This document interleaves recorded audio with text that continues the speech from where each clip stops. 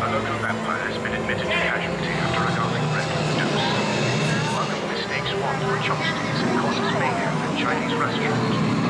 A global shortage of news tales sends wizards into tears. An expose of underage women found high voltage exploding bonbons